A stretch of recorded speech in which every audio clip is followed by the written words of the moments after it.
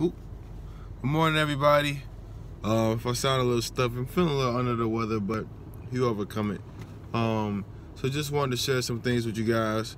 Uh, I really hope you guys have been enjoying the content, everything. I'm enjoying making these videos, putting them out on my channel and stuff. But um, you know, it's Wednesday, which is weird. Like I feel like the week is kind of flying by now, but it's Wednesday. It's Hump Day you know, it's it's it's about that time where you know you start to reevaluate what's going on in a week. You know, you're you're literally halfway there now, and if you haven't done what you wanted to do this week, now is really the perfect time to do that. Um, so you know, just sit down. You know, just sit down for like 15, 30 minutes, man. Sit down for like 15, 30 minutes. I actually did this last night. Sit down 15, 30 minutes. Figure out what you really want to accomplish this week. And you just go after it, man. You still got the rest of the week left. You still got four days of the week left. But um on top of that, I also wanted to talk about something that I saw on Instagram yesterday. Um, I think it was called the Stay Alive Challenge, um, and I accepted it.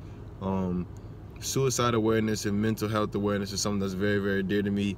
Um, I posted videos about it before on my channel, but you know, I just wanted to encourage anybody who who feels like they might be going through that darkness that you know it, the the light is there. You know, there is something worth it on the other side of you powering through that darkness and you know it's difficult. It's very difficult to see um, but if you surround yourself with the right people who see the light they will bring you to it. As long as they're the right people as long as they're you know like that right association and stuff. So just wanted to share some empowering thoughts about that because like i said it is something that's very very important to me. It's something that i want to bring personally want to bring more awareness to.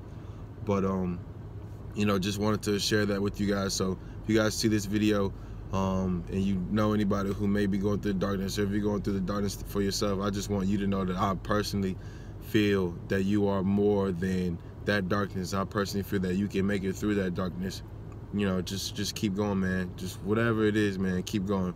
Hope you guys are having a great morning. Look forward to talking to you guys again tomorrow. Have a great day.